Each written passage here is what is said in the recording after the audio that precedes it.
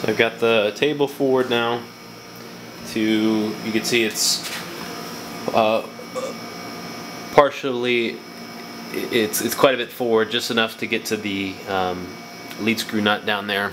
Uh, I used one, two, three blocks as spacers because for some reason it didn't want, I guess I could have adjusted the uh, uh, gibs, but didn't, so it, it would took a little bit of finesse um, to get it all the way. This um, power feed shaft is not keyed, as you can tell, all the way to the end, but it is keyed along here. You can see that. So what you need to do is knock out the uh, shear pin right here. Don't try to back the table off with the uh, with the screw without doing that first. And um, see now I can give you a shot of the underside of the table here. Um, just like these, uh, just like these cap uh, Allen head cap screws securing this front um, lead screw support hand wheel support plate uh, are 5 16ths. These are also 5 16 uh,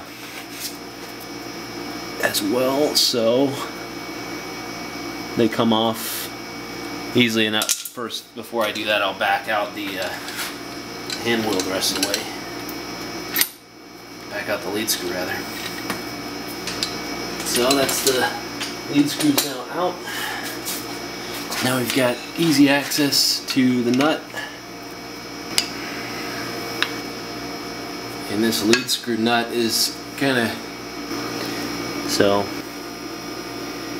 here's the lead screw nut.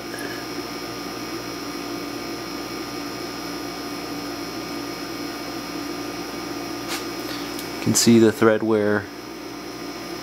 It's quite bad in there. Show the, the underside of the table here too.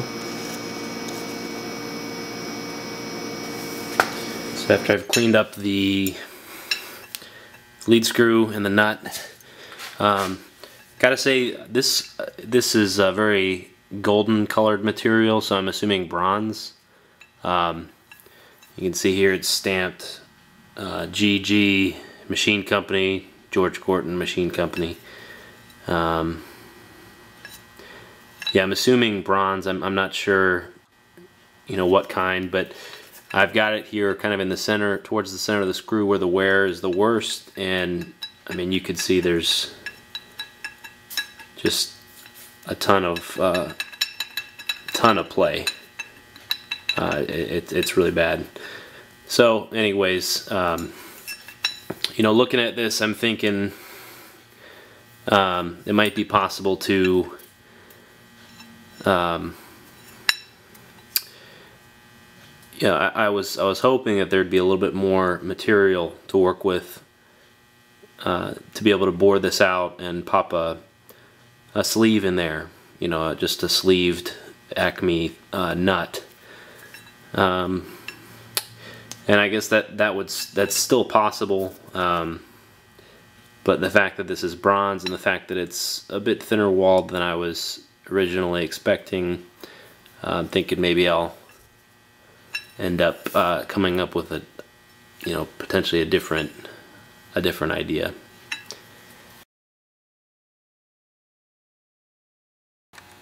So I've um, removed the Y feed screw and moved the table. I didn't remove the table um, entirely uh, but I just racked it all the way to the left and then um, took the screw almost all the way out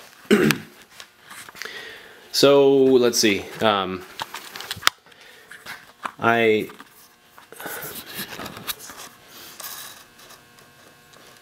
wanted to kind of document um, what's under the table for you guys, especially anybody planning on doing CNC stuff in the future, ball screws, etc. You can see my lead screw nut is cracked where it mounts, where the the two cap screws run through it.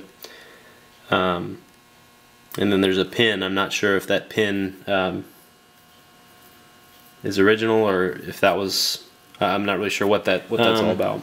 So I wanted to show you the condition of my X screw and I guess brag a little bit. Um, this is pretty much the end. I think that the, the screw ends right about here. Um, uh, so it's in pretty good shape. Um, of take you down the screw. You know, there is a bit of wear. I mean, almost no wear um, on the X screw.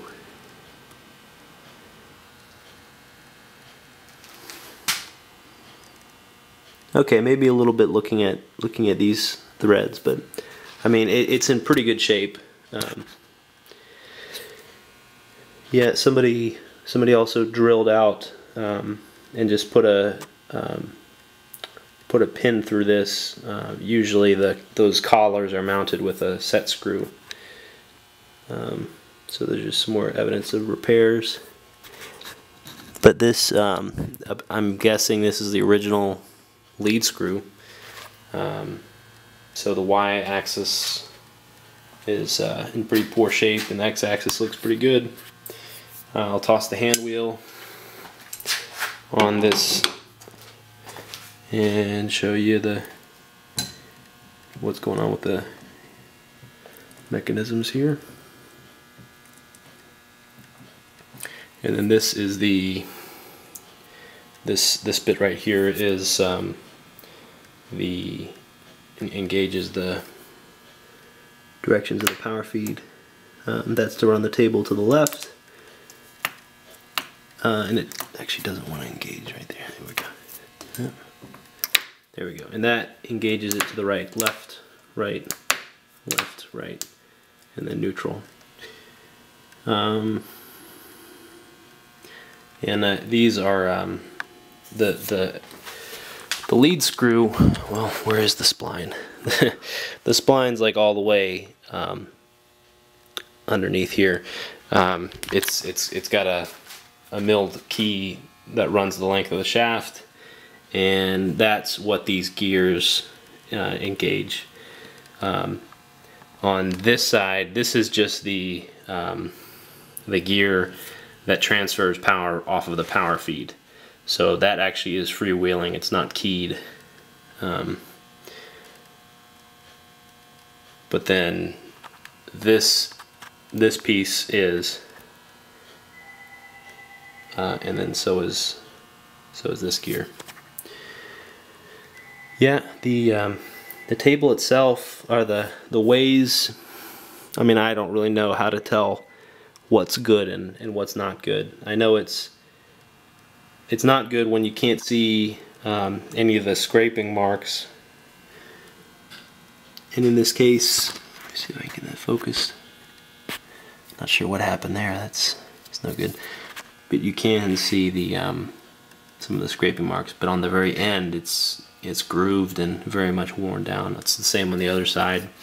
Um, also, this is informative. Um, this uh, oil cup feeds the uh, lead screw nut. So that's if you're at the back of the machine standing by the uh, the knee uh, the knee wheel, it's the second one, um, second one over.